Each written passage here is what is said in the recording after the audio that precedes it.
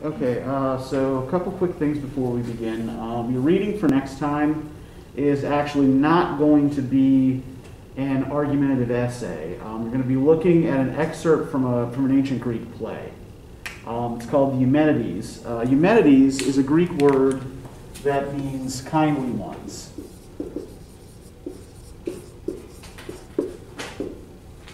And it's a euphemism for a group of goddesses who were called the Furies.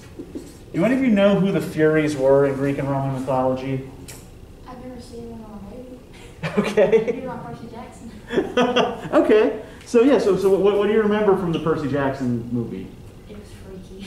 Okay. It was like, um, I guess it, it was like part of like the underworld, I think, and it was like Mhm. they had wings. It kind of reminded me of that almost. 'cause I don't know what wings Yeah. So yeah, the Furies are un- they're underworld goddesses, and their function is to punish evildoers. Right. So the Greek, uh, like the Greek underworld, is basically just like this kind of like dark, lightless place inside the earth where shades flit around forever, having completely forgotten their past existence. Right. Everybody gets the same afterlife, whether you were good or bad. So what the Furies do is hound people who have committed horrible crimes while they're still alive on earth. And this is, you know, considered their right and their due, right?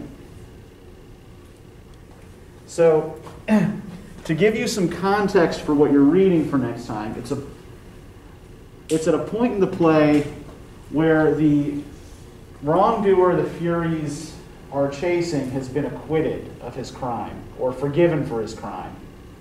And the Furies are complaining that they're not being given their rights. So the rhetorical situation is that the goddess Athena, who is the patron goddess of the city of Athens and is also the goddess of, does anybody know? Isn't war goddess? She is a war goddess, yeah. But like, like war in terms of strategy and tactics, not in terms of like random bloodshed and violence.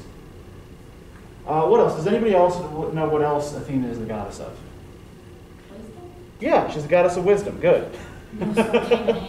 Well, see, see, uh, well, and, and that's the thing too. Like, if you're familiar with these Percy Jackson stories, right? You know, then you probably already know at least a little bit about Greek mythology. It's not always accurately represented, but still, you know, it's it's in there. Um, so yeah, Athena is trying essentially to bargain with the Furies, right?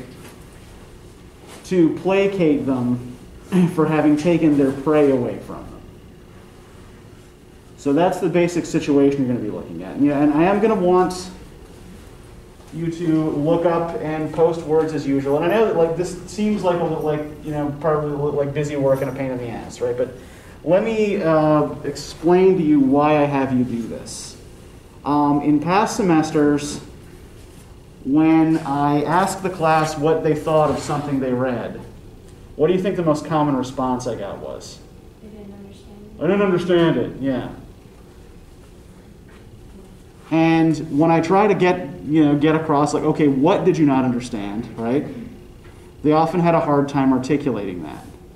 So what I'm trying to ensure is that at least on the level of language, you understand what's going on. And that just by, you know, that just like giving you points for looking things up will encourage you to do that. So, right, that's it. Does anybody have any questions about anything? Everybody good? Great. All right, so how'd the Aristotle go for you? What did you guys think? I feel like I didn't start understanding it until the end. Okay. Yeah. So what, what was it about the end that helped you figure out what was going on? It just flowed better. Like it Yeah. had more interest in it, I guess. Okay. The sentences were better understood. Yeah, and I think like one thing we have to remember too is that like um, this is all translated from ancient Greek, and in order to you know produce an anthology like this and not have it cost a fortune, they often use slightly outdated translations, right? So sometimes the language gets a little funky. Yeah, like I didn't start understanding it until like where it's like chapter two and it's Uh-huh. talking about ethos, logos, and pathos. Okay. That's where I started. And was and was that partly because that's something we've talked about before that was a little bit more familiar? You could kind of okay, like I know what this is. Yes. Okay. Did most did it did everybody pretty much feel the same way about this? That the second part of this made a lot more sense Yeah. than the first part? Okay. Um, so what I'd like to do then is try to set up a context for the whole thing that'll help us figure out what's going on in that first part that you had a little bit more trouble with, right? So, in order to do this, let's review where we've been so far, right? So, let's talk first about the viewpoints expressed by Gorgias and the Sophists, or at least Plato's version of Gorgias and the Sophists, and by Plato himself. And then we'll bring Aristotle into this. So, what were the attitudes and beliefs of the Sophists? They didn't believe in the absolute truth. Yep. No such thing as absolute truth. All we can do is create belief, right? And how did they think we go we went about creating belief or encouraging belief? Persuasion. Yeah, through persuasive speech, right?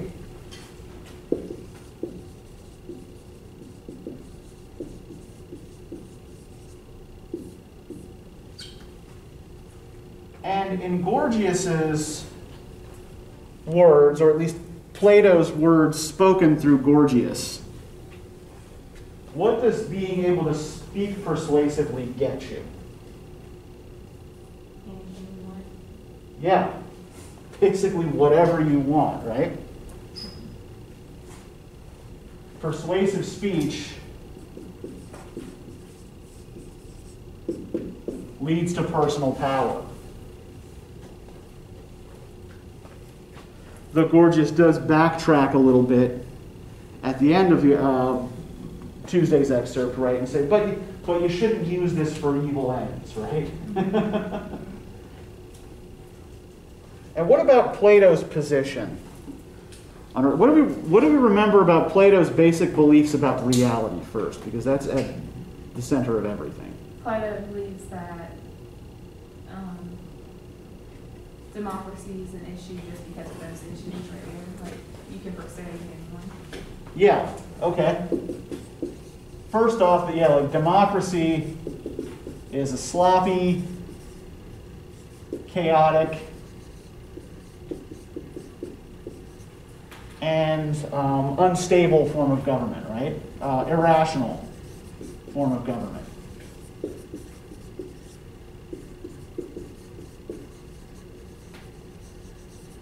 Right. Because the masses can be so easily swayed by a persuasive speaker, right? What else do we remember about Plato's beliefs? Not about rhetoric, but about the nature of reality itself. Think back to that allegory of the cave that we talked about. Um, reality is only what you, like, you grow up with, basically. Like, It- Well, is is differs in people. yeah, well, well, well, is what you see are the shadows on the back of the cave that you grow up seeing actually reality? Well, There, yeah. pardon? Well, yeah, because they're people, the shadows are people moving around. Mhm. But all you're seeing is, like, all you're sensing is these images, right? That are created by shadows behind you. So you're not seeing the real thing. So false versus true. Yeah, and false for Plato is kind of the world of the senses, right? That what we would consider like you know the you know the real world of experience, Plato uh, considers a pale imitation of a higher world of ideas, right? So for Plato, things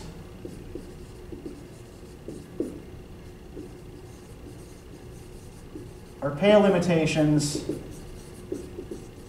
of ideas.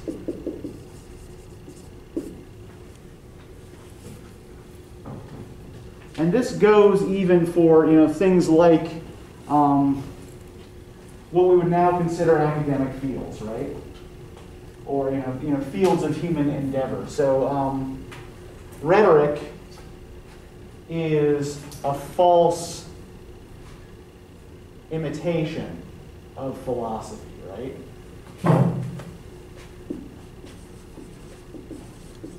Right, philosophy for Plato is the pursuit of truth.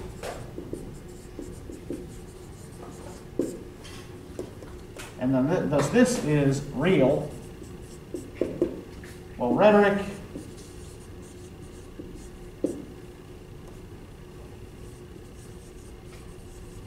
right, only creates belief or opinion and is thus false, or it's a counterfeit. So, where, based on your reading, did Aristotle fall between these two? Does he seem to agree with either Plato or Gorgias? He's like in the middle. Okay, uh, why would you say he's in the middle? I mean, he followed, like, he followed Plato, but he also believes in what, the sophists believe in. And he believed both Mhm.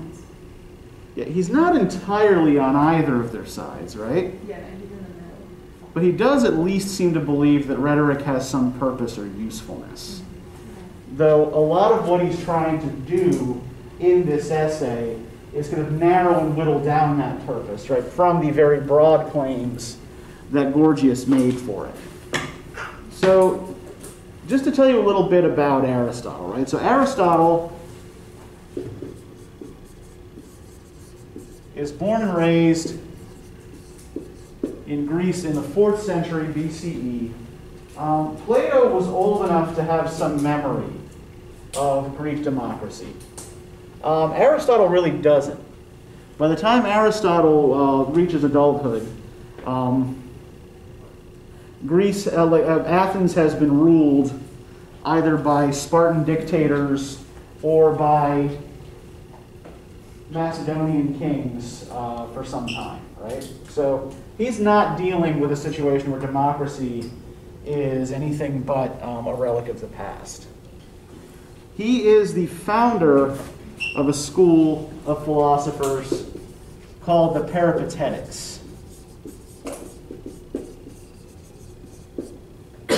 So peripatetic comes from a Greek word that means walking around.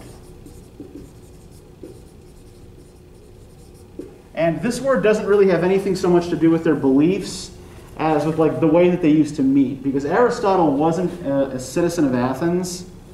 Um, his school had to meet on public property. So, um, you know, they met, he, he couldn't own property. So they met and walked around together in the public roadways.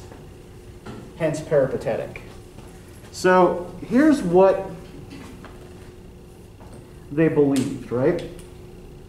So from Plato, the idea comes first, and the thing is just an imitation of it, right? So Plato places what we call a universal that is a kind of general category or general idea over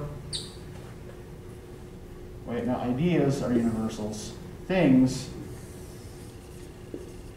are particulars. And particulars are specific examples.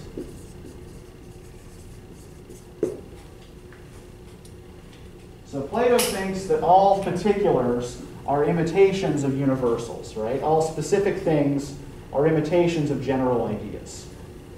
Aristotle flips this around.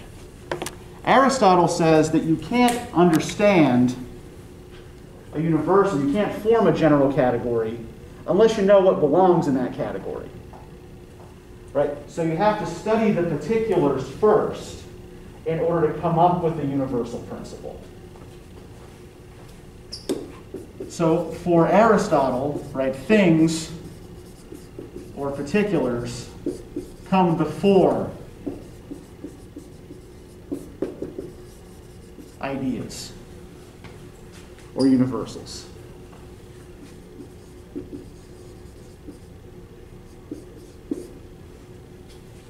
So Aristotle and the Peripatetics are really into describing the features of particular things and using that, like the, using similarities and difference to put these things into categories, right? Which is one of the reasons why Aristotle can be so bloody boring to read. Now, in addition to this, Aristotle and the Peripatetics believe that matter, that is a kind of general physical substance,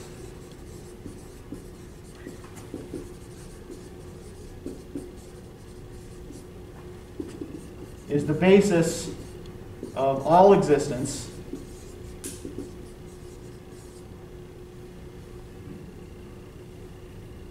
And that human beings are endowed with reason,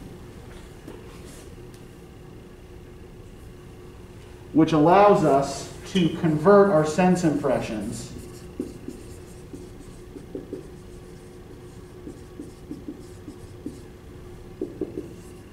into knowledge. Now, what was Plato's attitude towards knowledge? Did Plato think that knowledge came from our sense impressions?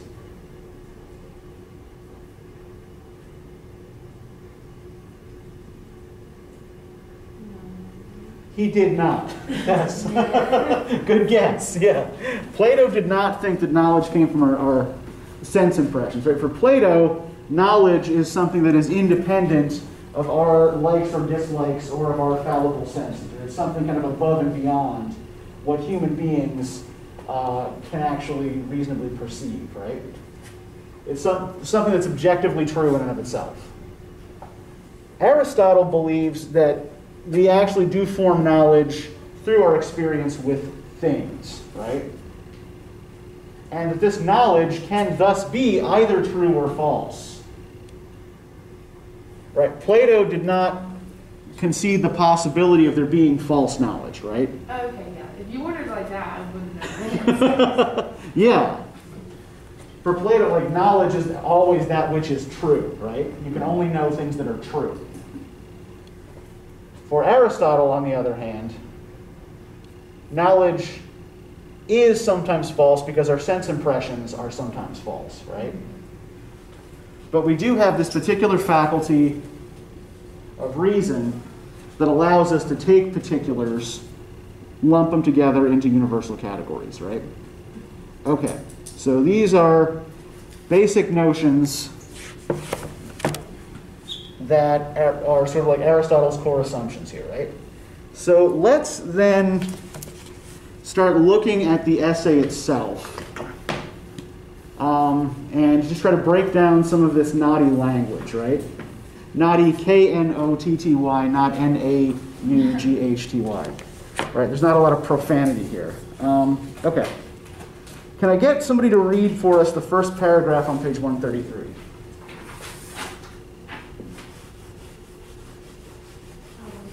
Go ahead. Rhetoric is the counterpart of dialogue.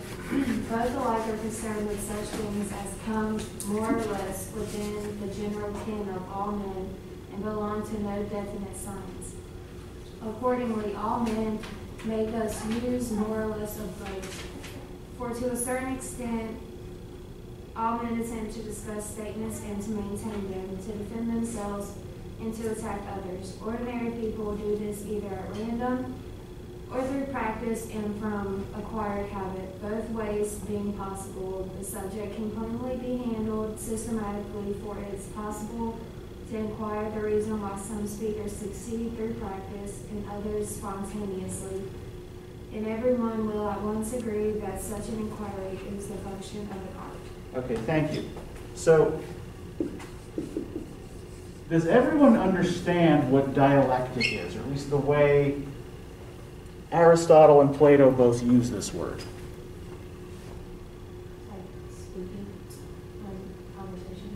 Yeah, conversation, right? So the mod, the, that dialogue model that Plato uses, right, is what is called dialectic. So yeah, dialectic is conversation and questioning.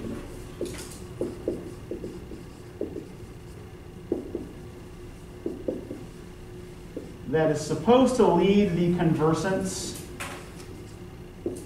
to philosophical truth. Right? The idea being, okay, if we just sit here and keep asking each other questions, right? Eventually we will hit upon the truth that we're looking for. Is rhetoric the way Plato and Aristotle seem to imagine it dependent on conversation? Does someone like Gorgias try to persuade people generally through conversation? Uh, yes. No. yeah. No, okay, so, so a rhetorician, right, affects persuasion through speech, but not necessarily through like a multiple sided conversation, right? A rhetorician gives a speech, right? A rhetor- for, you know, rhetoric is much more one sided. Right? Even if we're looking at like a classical debate model, our participants in a debate, and you know, again, like keep our current politics out of this idea, right? Our participants, our participants in a debate supposed to be allowed to interrupt each other. No. They are not supposed to be, right? But they do all the damn time. Because nobody can just take a minute to shut up and listen, right? But yeah, the way formal debate is supposed to work is that one person says their piece, the other disputant says their piece, right? I mean, you know, think about this as like formal arguments in a court of law, right? The defense attorney is not allowed to interrupt the prosecutor during his opening and closing statement, right? And the prosecutor is not allowed to interrupt the defense attorney during her opening and closing statement, right? They can object to uh, questions that they ask witnesses, but they're not allowed to interrupt those formal parts of, um, of presentation. So rhetoric tends to be a kind of one-sided thing, right? Now, Plato clearly thinks one of these is better than the other, right? The dialectic is the real thing, that this is truth.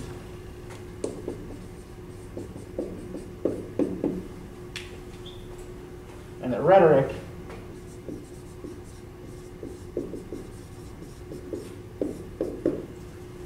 is falsehood. Does Aristotle, Aristotle does not seem to agree with this, right? Mm-hmm. What does he call, or how does he define the relationship between these two things? Like they combine. Yeah, we can go together. Yeah. Like they're not versus each other, they're like combined. Yeah, the word he uses is counterpart, right? Not counterfeit.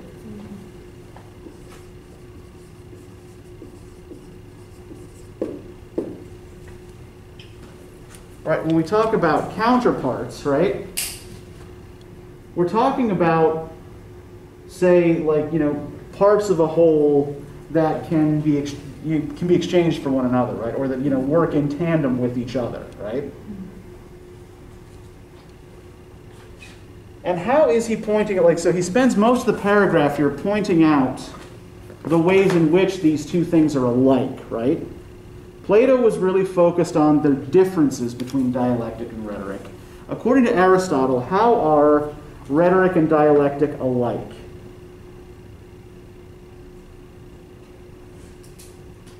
What do they have in common?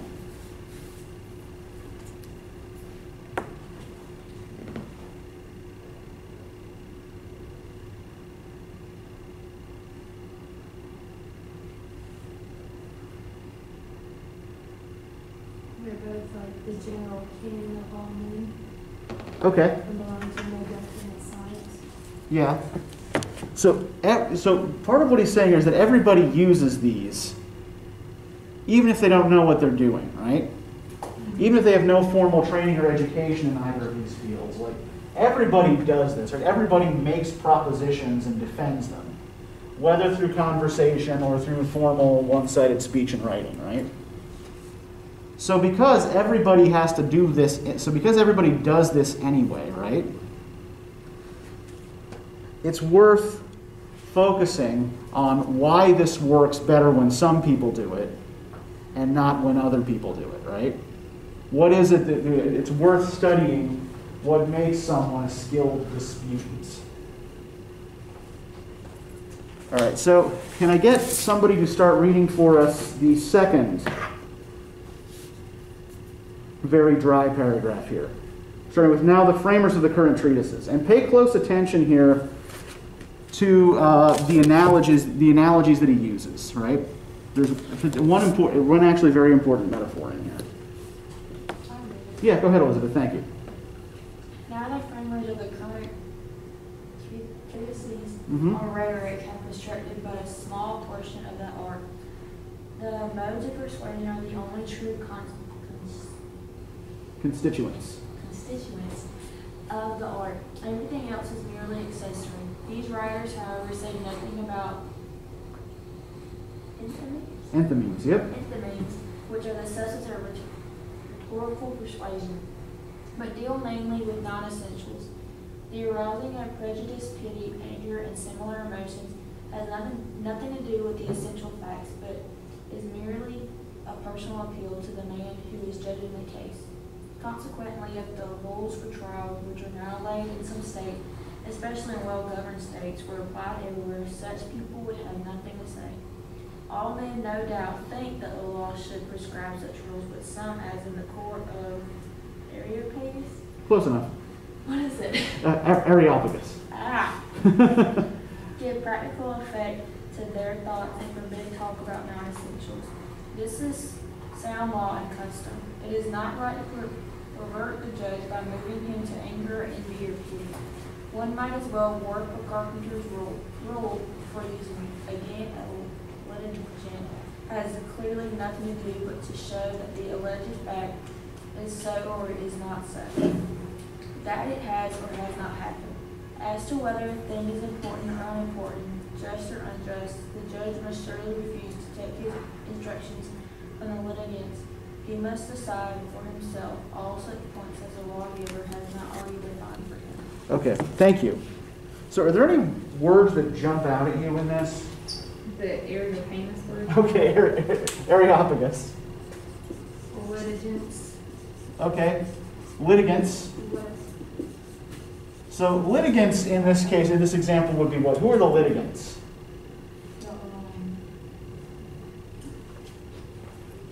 Like the government? Like, I feel like you're in a trial, it's like the defense or like something like that, and they're like trying to like say, did you do or did you not do? I can't think of it. Yeah. So we would the litigants would be um, like you know, right, the lawyers or whoever's whoever's making the case, right? So whoever the disputants in the case are.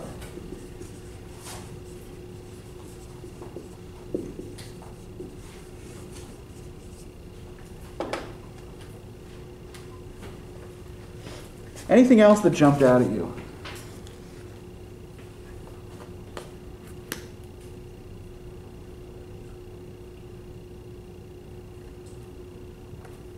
Let's try to think back for a second uh, to Plato's discussion with Gorgias about rhetoric in the law courts, right? What was Plato's problem with the use of rhetoric in courts of law? That they weren't really looking for justice, they were just looking for their side right. Yeah, that rhetoric doesn't really teach you what's just or unjust, right? All it does is create belief in the judge or jury as to what, you know, what should or should not be done, right? So it provides no instruction about what's just or unjust. Does Aristotle seem to believe that rhetoric needs to do that?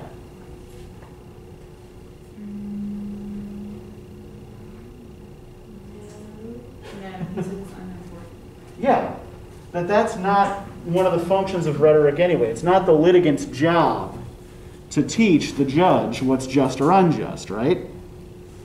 Where should the judge be getting his, his or her, well, I guess in an ancient Greek society, his ideas of what is just and unjust? The evidence and like the stuff that's presented to them. Okay, yeah, the stuff that's presented, like essentially all the, all the judge needs to determine, right, based on the litigant's arguments, or all the litigants need to prove to the judge, is that something did or didn't happen, right? Justice, like what's just or unjust, you know, in terms of punishments, in terms of, um, you know, whether to acquit someone or not, right? That's left in the hands of the judge. And so, where is the judge supposed to get his ideas of justice?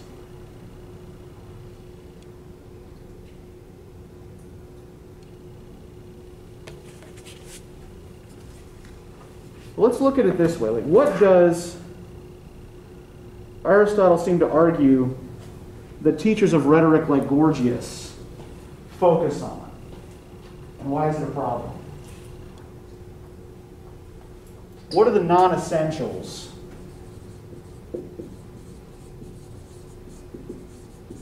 That teachers of rhetoric like Gorgias care about.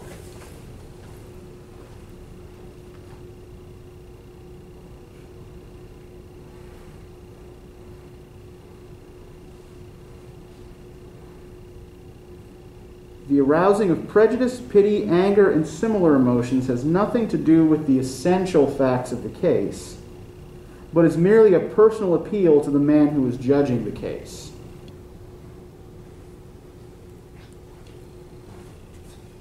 So, what is Aristotle arguing the litigants in a legal case shouldn't be trying to do? like, like I said, like pity and anger. Like I, I know a lot of court cases are like, oh, he did this and this person, Mhm. trying to make him feel bad, or they try to get him mad. Right. hmm So, Or, yeah, li- like, you know, the, the prosecution might try to scare the jury, right? yeah. The defense might try to, you know, make the jury feel bad for the defendant, right? So both sides may, you know, engage in some kind of emotional manipulation. But does Aristotle seem to think emotional manipulation has any place in a court of law? No, all the litigants are supposed to do is establish the facts, right? This happened or it didn't happen. Right. Emotional appeals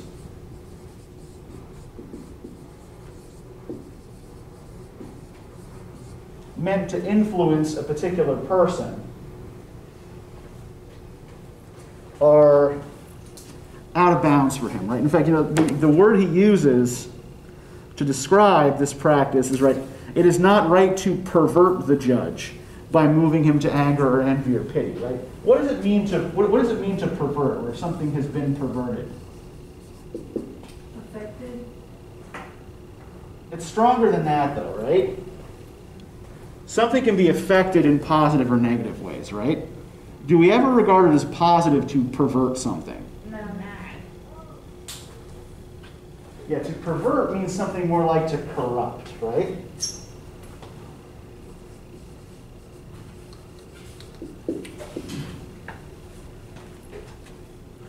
That playing on the judge's emotions, right, trying to emotionally influence the judge is to corrupt the judge.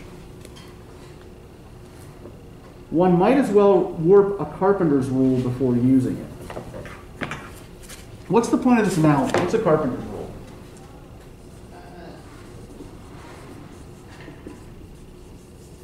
Just in a general sense.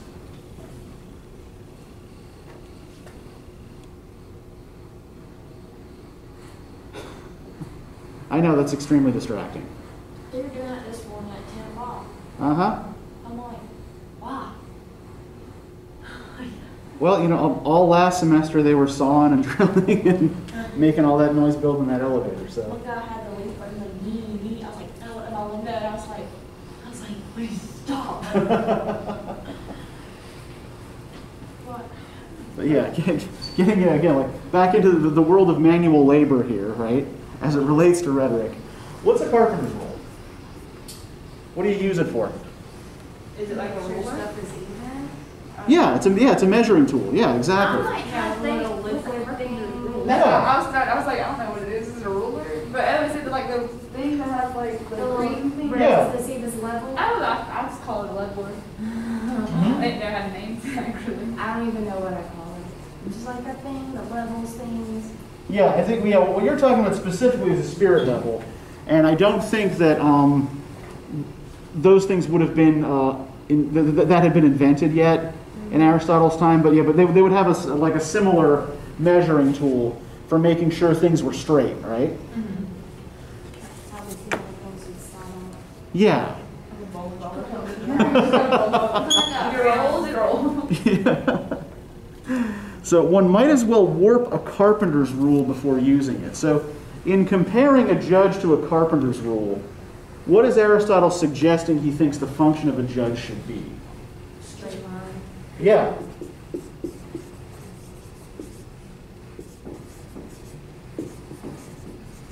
Yeah, a standard for measurement, right?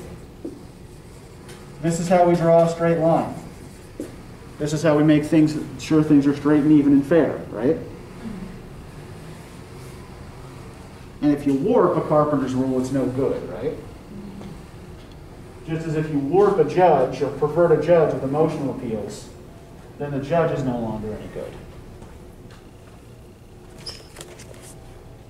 So, can I get somebody to continue here for us with now it is a great moment that well drawn laws?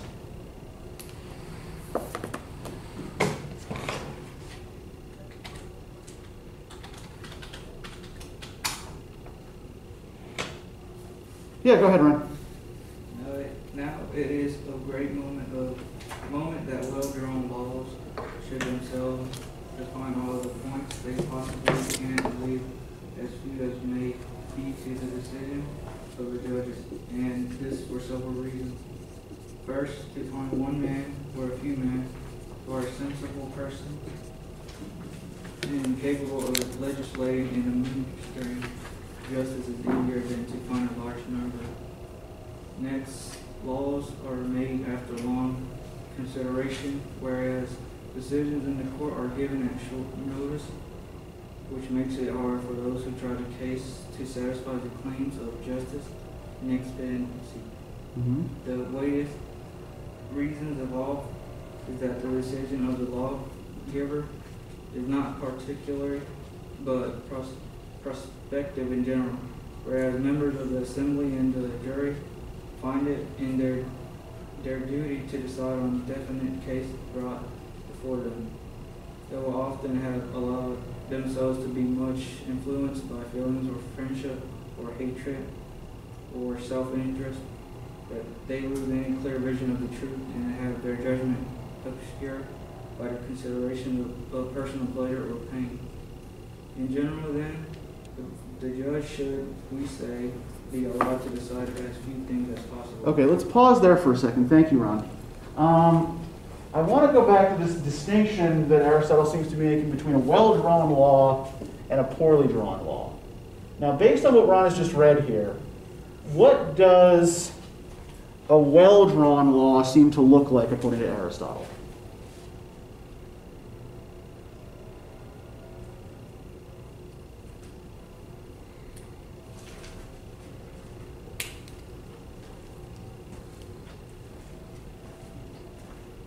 And what does a well drawn law prevent? Like it's like obvious of what the law is, so like Mhm. the judges won't have a hard time in deciding on the. Exactly, yeah. The less left up to the judge's personal interpretation, the better, right? So a well-drawn law for Aristotle is a law in which it's clear and obvious what the law actually states, right? Yeah, there's no gray area. Yeah, so I'm going I'm to give you an example here. I'm going to take two um, amendments from the Bill of Rights. And I want to preface this by saying, you know, put aside for a second any feelings that you have about what either particular amendment means, right? And we just want to think about which, which of these two laws Aristotle would think is well drawn and which he would think is poorly drawn and why. Again, without, you know, thinking about the value of either principle here.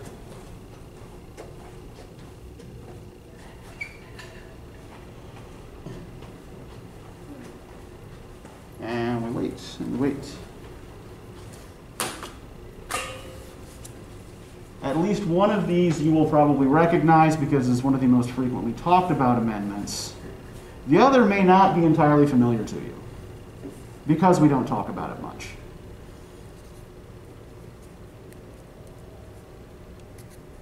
So, first we have the Second Amendment, right? A well regulated militia being necessary to the security of a free state, the right of the people to keep and bear arms shall not be infringed. And then right below it here we have the Third Amendment. No soldier shall, in time of peace, be quartered in any house without the consent of the owner, nor in time of war, but in a manner to be prescribed by law. Which of these laws would Aristotle think is better drawn and why? The third amendment, Why? because it's more specific of what's going on. Than Yeah. the second amendment, the second amendment, like what is being regulated, like what is considered regulated militia. As for the third one, it's like at a Mhm. time of peace, you know what time of peace it is, and then it's like you have to have a law that says you can stay in the house without permission. Yeah, well, the Third Amendment, it's absolutely clear what it allows and what it bans, right? The Second Amendment is a little bit more confusing, which is one of the reasons why we continually debate it, right? That it's open to different possible interpretations, depending on how you read this first clause, right? Does the law say that the right of the people to keep and bear arms is dependent on there being a well regulated militia? And is the Second Amendment thus irrelevant to a society which, is, you know, which has a standing army? Or is the only meaningful part of the sentence the second clause, right? The right of the people to keep and bear arms shall not be infringed. So, again, like without taking any position on this, look, like I know, like I'm a long-haired, beardy dude uh, with a PhD from the Northeast um, who doesn't wear suits and uh, teaches poetry for a living, right? So it's probably not that hard to suss out how I vote, right? But you know, the only point I'm trying to make here, right, is that this law is left open to, interpreta- to ju- judicial interpretation and has been interpreted differently by judges throughout American history, right? Mm-hmm. So, because of that, Aristotle would regard this as a poorly drawn law. Whether it's a just or unjust law, right? He would regard this as being too open to interpretation. Whereas this law, yeah, okay, you can't put soldiers in people's houses without their permission. Okay. So, Aristotle seems particularly interesting in, in having like clear standards, right, for measuring things.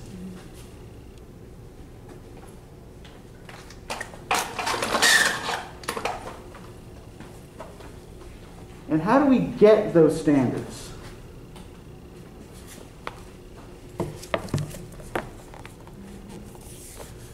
Why does he think laws are more important than decisions in a court? Laws are made after long consideration. Okay, given, like, courts give decisions at short notice. yeah, so one, one difference here is that laws are subject to a long process of debate and deliberation, right? They're not made in the heat of the moment, whereas court decisions are made much more swiftly, right? And based on a particular case. So we have again like this whole thing about general principles versus particular cases, right? And what a law does is spell out a general principle that's supposed to be applicable to all particular cases, right? Which actually runs kind of counter to what Aristotle usually seems to believe in. Now, he mentioned enthymemes on the first page as well. Does everybody understand what an enthymeme is? Does anybody understand what an enthymeme is? Isn't it like a, like having an argument without showing any expression? Um, it's not so much that you don't have it, like, it is actually having, like, having something to argue, right? A thesis statement. Yeah, something like a thesis statement, right? Although what Aristotle means is actually a little bit more specific. Uh, so, do any of you know what a syllogism is? Uh, look, I feel like I looked this one up. It's It's on my list. Okay, it's on your list to look up, yeah. okay, so a syllogism um, is uh, a way to test the logic of a particular proposition, right? So you start with a general principle, right? All human beings are mortal.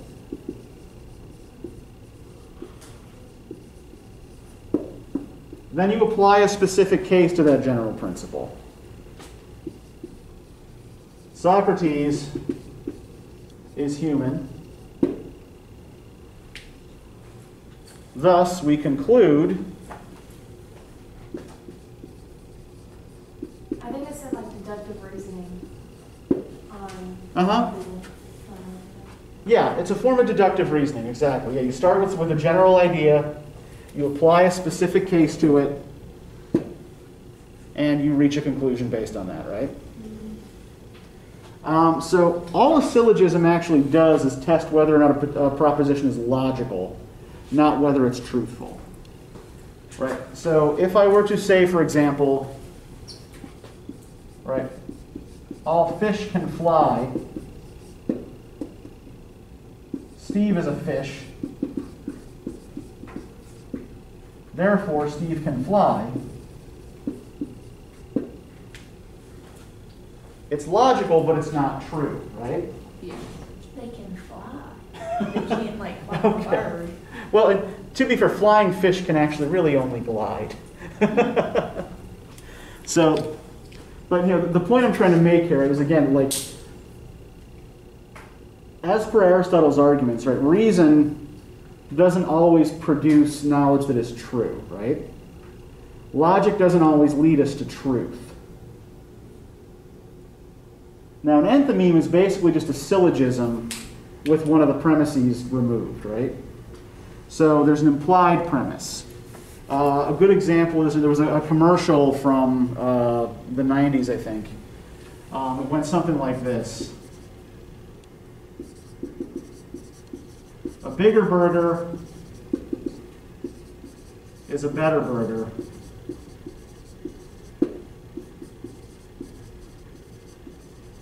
The burgers are bigger at Burger King. So, what's the implied premise that's left out? Burger King's burger is sort of better than some places. Yeah, it leaves out the conclusion, right? It leaves you to draw the conclusion for yourself, right? A bigger burger is a better burger. The burgers are bigger at Burger King, hence the burgers are better at Burger King, right? So, a syllogism is, yeah, for, or not a syllogism, an enthymeme is for our Aristotle, kind of like the basic unit you build a rhetorical argument around. And he says that these sophists don't pay attention to these reasonable appeals. Rather, what they're concerned with is manipulating people's emotions. And that that is not the proper use of rhetoric. So let's go to what Aristotle thinks are good uses of rhetoric. If we look towards the second part of this that you guys uh, felt a little more confident with. Um, we talked about those three modes of persuasion, those three appeals last time, right? Ethos, pathos, logos. Which of these does Aristotle seem to regard as most important and why?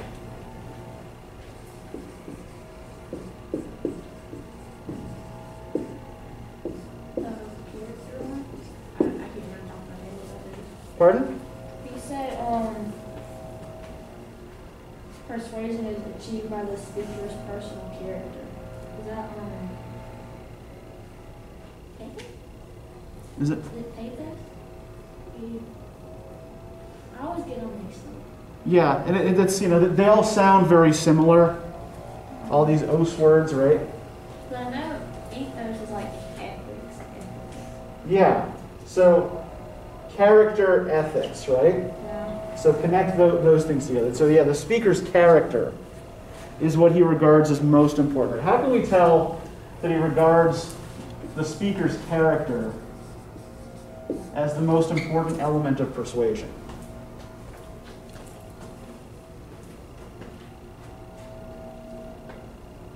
He says it makes us think he's credible, like makes us think that he's telling the truth. Hmm yeah. We are more likely to believe a speaker who seems credible to us, right? Yeah. His character, at the top of page 137, may almost be called the most effective means of persuasion he possesses.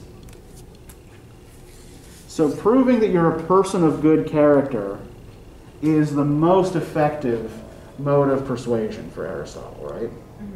That has to come first. And there's actually uh, like contemporary research that bears this out, right? So, like, um, when psychologists look at uh, attempts to convince people to adopt, uh, say, different political opinions or you know, different sets of beliefs, how effective do you think throwing facts at them Usually not very effective. Yeah, it rarely moves the needle at all. And this is something that Aristotle seems to recognize, right? What does he seem to regard as actually the least important part of making an argument? Logos. Yeah, logos comes last. Establishing the facts comes last. Because people aren't going to listen to you if they don't already think you're a person of good character, right?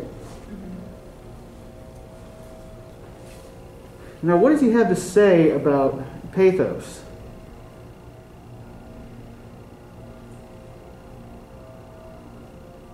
You need to understand what they're like feeling. Yeah, and you need to make sure that you're putting them in a receptive frame of mind, right?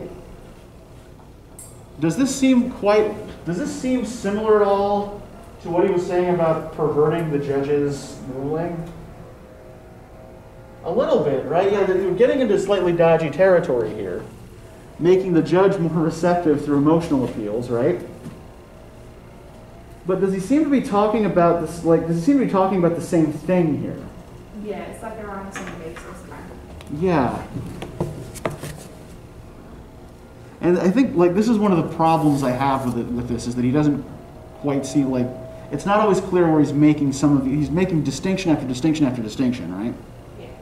But it's not always clear where he's dividing some of these things up. I think it might help if we look back on page 134. The paragraph that starts with hence it comes that, although the same systematic principles apply. Can I get somebody to read that for us?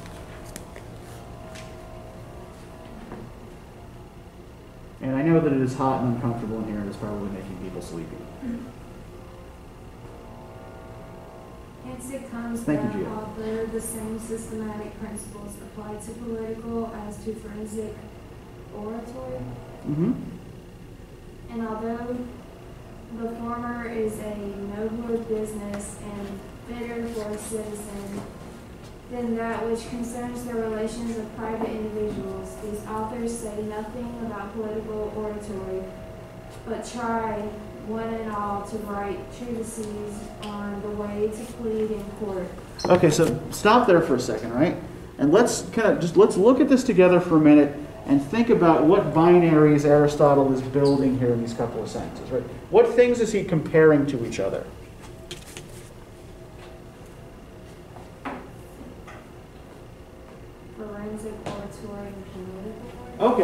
Forensic and political is first, right?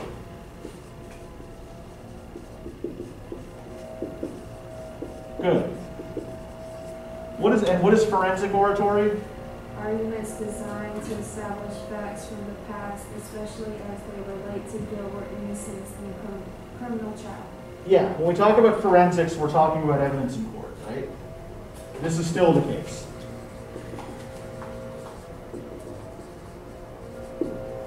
Right, you know, what, what, like, what does a forensic scientist do? You guys know? they find evidence like that. so- And not, not like. Yeah, yeah. So, so you know, they, they conduct autopsies, right? You know, they, you know, check, you know, uh, you know, check for, you know, handgun residue and things like that. You know, they, they check the trajectory of bullets, things like that, right? Things to establish innocence or guilt in a court of law, right? DNA evidence, things like that. So then, what is political rhetoric? How is that different from forensic rhetoric? Um, Is it like of how you feel about something? Your beliefs? Um. Or like, It could be like laws, maybe? Yeah, I, I think that we're, we're talking again about this difference between the particular and the general, right? That the forensic applies to particular legal cases, right? Establishing what did or didn't happen in a specific time and place to specific people. So it's kind of like a courtroom and then just like the Supreme Courtroom. Yeah, or I think maybe think of it more like like a courtroom versus a legislative chamber, right? Mm-hmm. So political oratory would be more about moving people to make particular laws. And forensic oratory would be more about applying the law in particular cases, right? Does this make sense? Yeah. Okay. So what other binaries are implied in this then?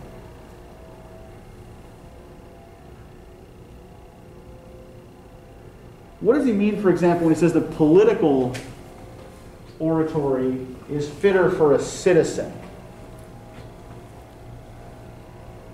Because like, since it's general, you have to make a decision as for like forensic is mainly based on like the scientific facts. Uh huh. I think what we might want to think about is what a citizen is, right? What's the difference between your role as a citizen and your role as a private individual?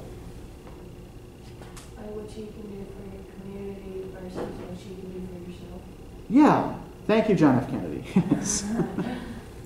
Yeah. So yeah, a citizen is sort of like what we are in our role in our public role, our public lives, right? A citizen is a public identity. Whereas forensic oratory applies to private individuals, right? So there's a public-private binary here as well which kind of fits into this general um, universal specific pattern, right? This general universal specific dichotomy. Okay, so the reason for this in political oratory, there's less inducement to talk about non essentials. Political oratory is less given to unscrupulous practices than forensic. That, you know, that was a little bit of an eye opener for me. Because it treats of wider issues. In political debate, the man who is forming a judgment is making a decision about his own vital interests. There is no need, therefore, to prove anything except that the facts are what the supporter of a measure maintains they are. In forensic oratory, this is not enough. To conciliate the listener is what pays here. It is other people's affairs that are to be decided, so that the judges, intent on their own satisfaction in listening with partiality, surrender themselves to the disputants instead of judging between them. Hence, in many places, as we have said already, irrelevant speaking is forbidden in the law courts. In the public assembly, those who have to form a judgment are themselves well able to guard against that. So, what's his big argument then for the superiority of political oratory over forensic oratory? Which, is, which does he think is more susceptible to corruption and shoddy practices and misinterpretation? Yeah, and why is that? Why does he think forensic oratory is is more corruptible? Jesus Christ. deals with evidence and you can like tamper evidence and mm-hmm. well, and more importantly, you can tamper with the emotions of the people hearing the case, right? As, as we've already established here. So, what does he argue makes political rhetoric different then? How is political rhetoric less corruptible? It's because it's the whole, it's not just one or two people, it's like a whole community slash. like- Okay, yeah, it, it's, it's a larger group of people making the decision together, right? And weirdly, what makes them less corruptible is that, as he says, like, in a political debate, the man who is forming a judgment is making a decision about his own vital interests. Right? In a political debate, right, you're listening to the candidates, you're listening to the different proposals, and you're thinking about what's good for you before you make a decision about who to back, right? What happens in a court of law, right? For the judge and the jury, um, does what happens to the defendant really affect them in any particular way? No. Not really, right? They're not. They're they're making a judgment about someone else's interests rather than their own. And so, Aristotle argues, they are thus more susceptible to corruption because it doesn't matter to them what the outcome of the case is. Um, and sitting on a jury is something that most of you will probably have to do at some point in your lives. Um, so look forward to that. My dad's always got asked, but he always gets out of it. Does, does he does he go and act crazy? No, he just sits there and like, oh, you can go. My mom, my mom always has to sit until she gets mad. Yeah, And it's always like Mhm. a week long when she's an accountant. yeah. My, my, my wife gets called up whenever she's eligible, and um, always gets picked for juries. Um, she like I've actually I've actually never been called up. Which you know, at, at, you know, I'm, I'm going to be 43 in March, and you know, to have never been called up duty is actually a, like I, I I feel like I've had a pretty good run here. this is okay. So I think if we want to break this down into the usual formula, the you know, seems to be about X, but could also be about Y, right? I think there are a couple of things we could we could say about this, right? That this seems to be about rhetoric.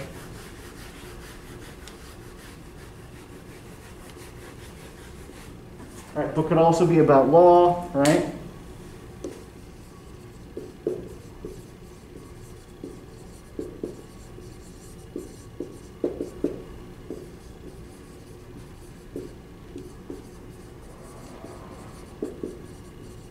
What other implied uh, themes have we pulled out of this? Right? What else could this possibly be about, apart from just being a description of rhetoric? Just given what we've talked about today.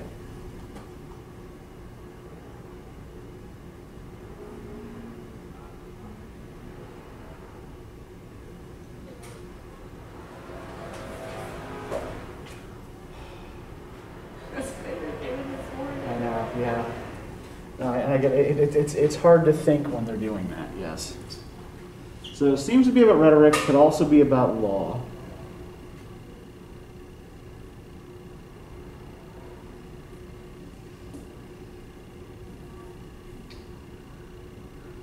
Right.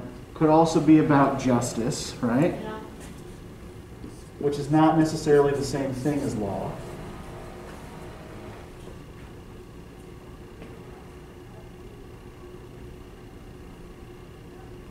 What else? Yeah, think about some of these strands and binaries that we pulled out of this. Yeah, it could also be about truth. Good. Did you say personal gain? Okay, yeah. There's certainly um, an attitude here towards personal gain, right? That is expressed.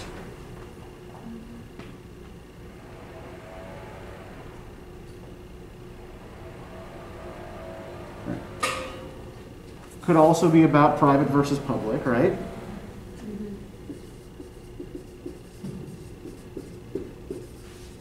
Particular versus general. Yeah, yeah, exactly. Yeah, universal versus particular. Good.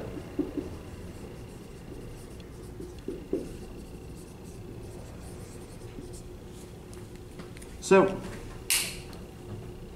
if you were to have to write about this, what you would want to do is pick one of these other themes or binaries, right? That's lying under the surface of the text. You'd want to pull that out and bring it up to the surface and make an argument, not just that it's there, right?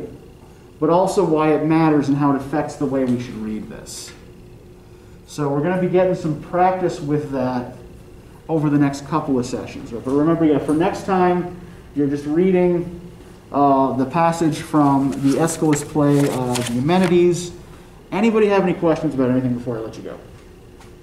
Everybody is just kind of ready to go and start the weekend and not have to listen to that in the back anymore. All right, uh, great. So we'll see you Tuesday.